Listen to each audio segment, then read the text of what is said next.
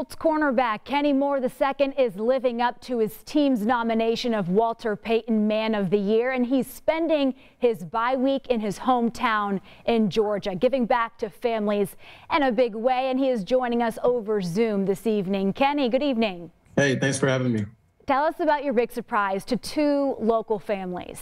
Uh, well, first of all, this is my first time, you know, going back home on a bye week and, you know, over the holidays to get back and we had already picked two families that were in need to um, uh, get Christmas gifts and just get some love uh, for myself and my family.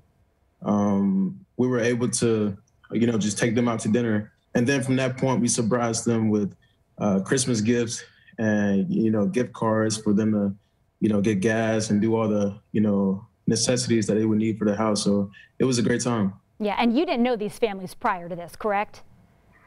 That's correct. Yeah. Yeah. What was it like for you to see these kids' faces when they met you for the first time and, and being able to, to give back in this kind of way?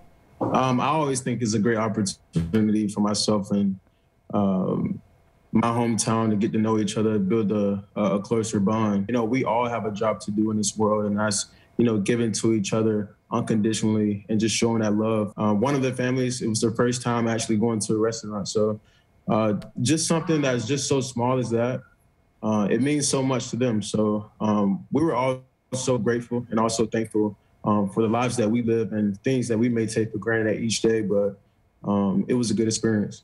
Very special weekend. That that's amazing. Good for you and your family, and hopefully you're able to relax a little bit and get back to Indy and and relax this bye week. Thanks for your time this evening, Kenny.